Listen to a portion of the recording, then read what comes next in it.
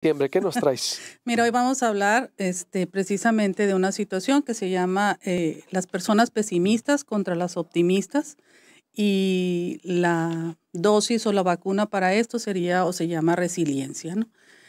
Aquí voy a hablar un poquito de las situaciones. Una persona que es optimista no quiere decir que no tenga problemas, es una persona que, que no le va a pasar nada, sino más bien es la actitud la que va a tener ante las situaciones que tiene la vida. Eso sería como algo resiliente. En cambio, la persona pesimista, sobre todo en estas fechas que empezamos a ver una serie de situaciones que no nos gustan o no nos agradan, pues bueno, va a traer al recuerdo de cosas pasadas como una pequeña angustia de esas situaciones que no ha podido resolver. Trae muchas cosas del pasado al presente constantemente eh, se boicotea a sí mismo, es una persona que se tiene un papel de víctima y ese victimismo lo hace creer cada vez más que menos puede hacer las cosas. Entonces, eh, él también se deprime mucho en estas fechas, es una persona que cae en depresión, que tiene bastantes enfermedades físicas, tienden a enfermarse más las personas pesimistas. Eh, son personas que llevan sus profecías, son como autocumplidoras. Pienso algo que así va a ser fatalmente y así lo, y así lo llevo a cabo. ¿Por qué? Porque a nivel pensamiento generamos una emoción y en lo que yo creo es lo que voy a crear afuera. Y entonces lo único que voy a hacer como una persona pesimista es decir, tenía razón. Tenía razón, las cosas a mí no me funcionan, no me van bien, se siente muy este, poco merecedor de lo que le pueda pasar de manera positiva.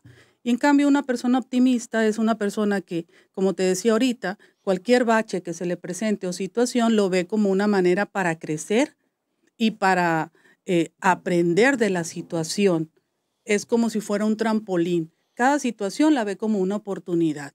Entonces, ahorita, en los tiempos que estamos viviendo, Navidad, las fechas que se vienen, todas las personas que están a lo mejor ahorita con la cuestión del, del aguinaldo, de su economía, de lo que van a comprar, entran en una angustia tóxica por este tipo de situaciones y en lo que no tengo. Yo decía el otro día, bueno, es como estar circulando ahorita en Hermosillo. ¿Cómo están las calles? Pues llenas de baches, ¿verdad? Me la puedo vivir culpando, tengo que circular, en este lugar estoy, en este lugar me toca estar. No quiere decir que no pueda hacer un comentario, que no, pero me puedo vivir quejando todo el día por el bache. Mejor tengo que aprenderme dónde están los baches para no pasarlos o circular por otra parte porque tengo que salir. Ese es ser más optimista, ¿no? La vida me presenta oportunidades desde la manera resiliente, yo les digo, es una vacuna para toda aquella cosa que te suceda como la oportunidad para crecer. Vacúnate. Pero en cambio una persona pesimista pues se va a considerar ahorita víctima de las, todas las cosas que pasan el gobierno, mi familia, si mi mamá no me dio, si mis papás se divorciaron, si me pegó mi marido, si me divorcié, si no tengo trabajo. O sea, van a empezar a ver todo de manera muy negativa. Y entonces, aquí hay que vacunarnos. La vida es una oportunidad todos los días para crecer para ser mejor persona y las situaciones se me van a presentar como una oportunidad. A lo mejor hay personas que me escuchan y dicen, ¿sabes qué? Qué fácil es para ti decir eso. No, lo digo porque lo vivo. Lo digo porque lo vivo y lo digo porque cada día se me presenta una oportunidad de aprender a conocerme a mí misma y de aprender a saber qué capacidades tengo y no quedarme. Sí, enfrento baches, cualquier persona podemos enfrentar baches, pero em, empezar a buscar las herramientas para salir de esto, sin caer en una angustia tóxica, en una angustia que me lleve a ser una persona que no avanza. Y yo te voy a decir algo, tú eres el propio creador de tu vida.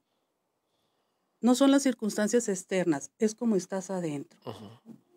Y el pesimista, como está adentro, eso es lo que no quiere cambiar.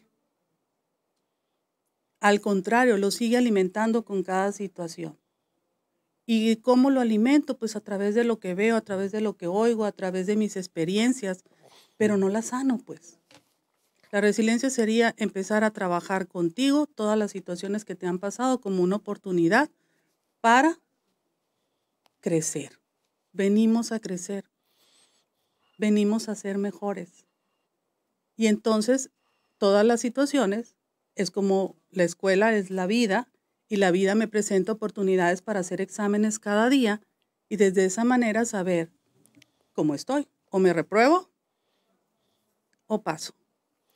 A disfrutar estas fechas y a ser resiliente y a, pues, a detectar todo eso, ¿verdad? Que traemos ahí, yo creo, y a cerrar ciclos, no sé, son a ser agradecidos. a ser agradecidos. A ser agradecidos. Fíjense, les voy a decir algo.